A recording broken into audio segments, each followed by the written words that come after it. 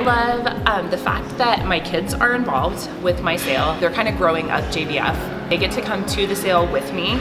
Um, the eight-year-old goes behind the cash register and she works with our cashiers. Um, my five-year-old likes to help people find toys, as he says, so he runs around there. And they're getting to see the responsibility, the building of the community. They help with our charities. They help me drop toys off for the toy drive.